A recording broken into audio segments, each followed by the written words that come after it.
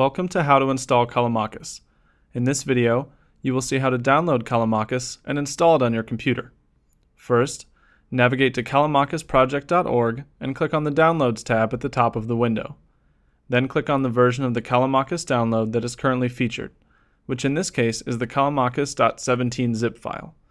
From here, all you need to do is click the .zip download in the middle of the screen and the file will begin downloading.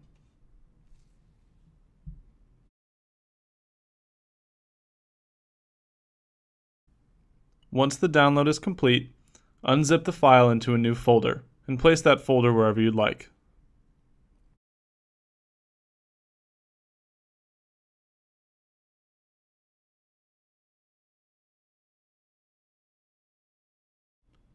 Now navigate to the Callimachus directory. Once in the Callimachus directory, there are a couple of files that need to be modified prior to installation. Open the etc directory and copy the file callimachus-defaults.conf to a new file and rename it callimachus.conf. Once you have renamed it, open the file in a text editor.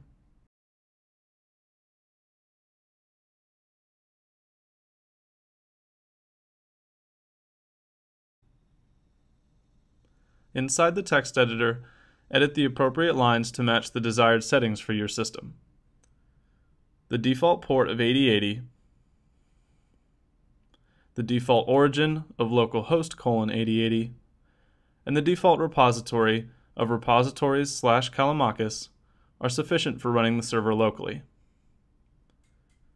Next, edit the lines regarding the initial user account for Callimachus. You must enter a full name, which will serve as the display name within Callimachus, your email, which will be used for mail functions within Callimachus, and your username, which will be used for logging into Callimachus. Once you have completed these steps, save the file.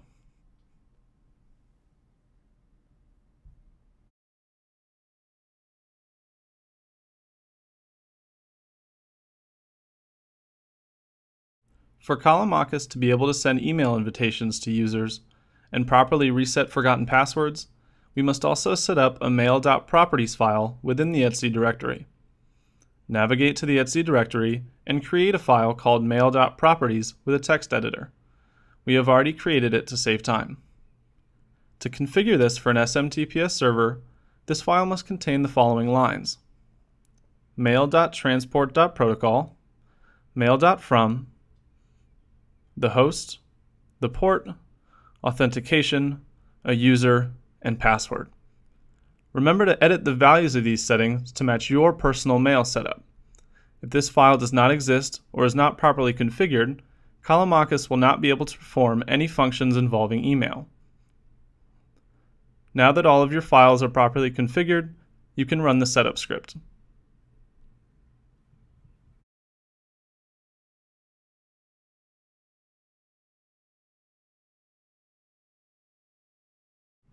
To run the setup script, once you're inside the Callimachus directory, navigate to the bin directory. From here, right-click on callimachus-setup.sh. Click on Open With and choose Other. From here, scroll down to the Utilities folder, select Terminal, and hit Open.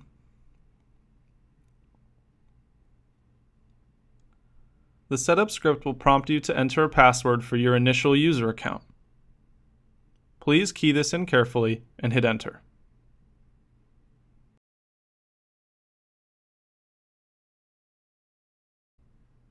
Once the setup script has finished running, Callimachus has successfully been installed.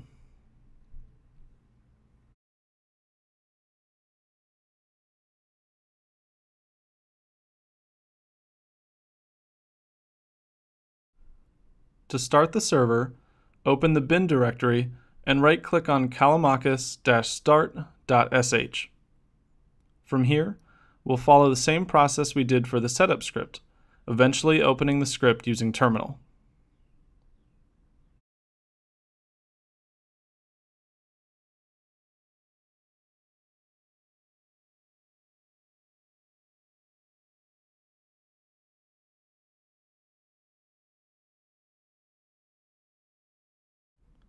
Once that command has finished executing, the server is running.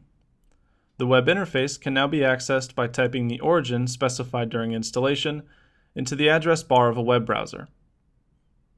In this case, type http colon slash slash localhost colon 8080 into your address bar, and a web interface appears to let you know that Callimachus has been installed. To learn more about Callimachus, get help, or simply share your experience, please check out callimachusproject.org. Thank you for downloading and installing Callimachus, and good luck.